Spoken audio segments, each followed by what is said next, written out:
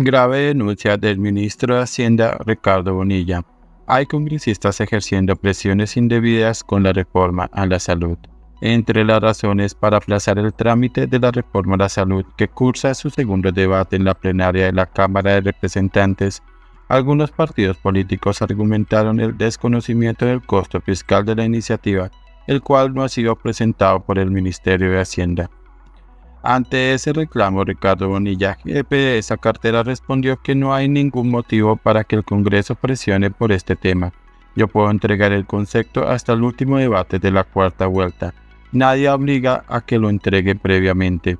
Eso es una presión indebida que están ejerciendo algunos congresistas. Los conceptos fiscales se pueden entregar hasta antes de que termine el proceso legislativo, reiteró. El alto funcionario también explicó que ese tipo de conceptos fiscales tiene un carácter implícito y que solo se puede emitir contra algo que ya esté claramente definido. Mientras tanto, son una proyección provisional de lo que puede pasar y eso cambia con frecuencia. Y yo no puedo estar emitiendo conceptos diarios, puntualizó.